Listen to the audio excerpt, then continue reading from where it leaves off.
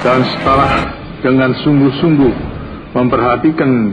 pandangan pimpinan Dewan Perwakilan Rakyat dan pimpinan fraksi-fraksi yang ada di dalamnya, saya memutuskan untuk menyatakan berhenti dari jabatan saya sebagai Presiden Republik Indonesia. Terhitung sejak saya bacakan pernyataan ini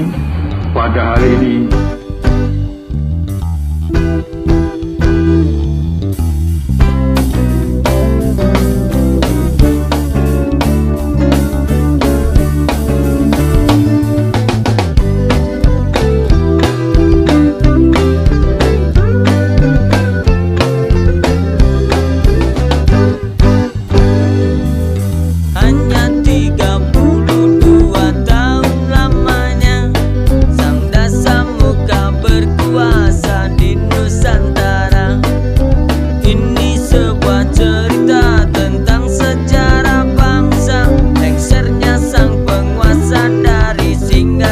na